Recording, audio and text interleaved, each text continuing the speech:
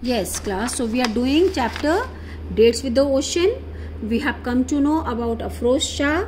We have come to know about his efforts, how he started the cam campaign, how he started the drive to clean up which beach? Yes, the Versova beach. Yes, we have come to know that we have come to know that Harvansh Mathur, he was his first, you can say, companion yes who was there with him. Later on he had 40 residents which became 300 later on. And after that it got its international fame when Lewis Pugh and a united nation patron he joined this campaign. He came from kenya to join this campaign.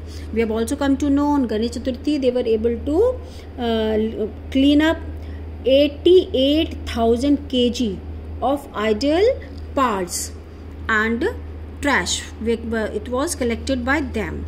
And now what he realized he realized that it is important to join common people with his campaign. So he started rallying he started going door to door to do that. So next they planned and after this rallying what was their plan? Next they planned to prevent rubbish from flowing from a creek onto the beach. You must have seen how it flows Yes, so the coastline has mangrove forest which act as a natural defense against storms. But unfortunately, these two were found to be choked with litter. They were choked with litter. So that's why he started doing that.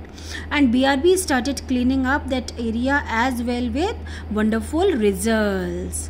Brb that it has not become famous only because that was because but it became famous because they were doing so much. That was really a lot of was work was done so that's why they became famous. And the work which they were doing that was wonderful. A proud moment for afroz came when he was awarded by un's top environmental award champions of the earth. Underline that.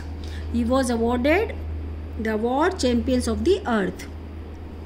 This made him the first Indian to achieve such a distinction.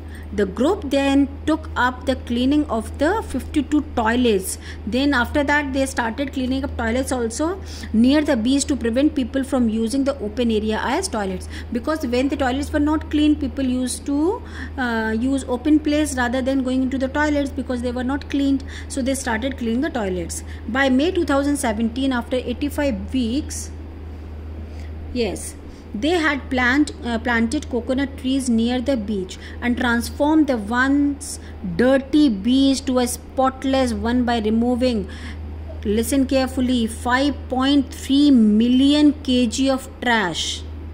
5.3 million kg.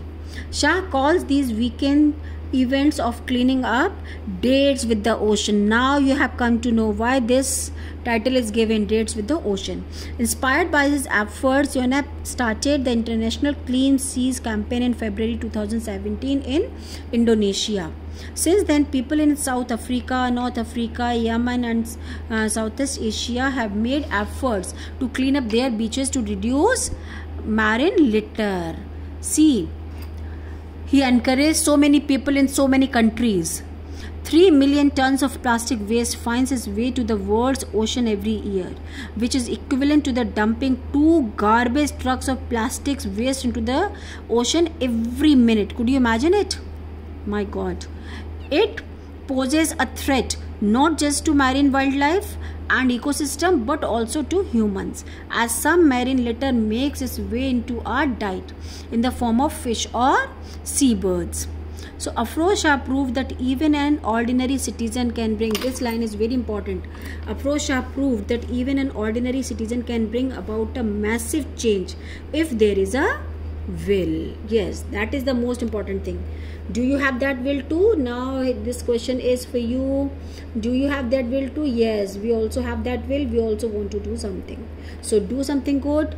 At least do not litter the places. If you could not clean it do not litter. So this is the moral of this uh, chapter.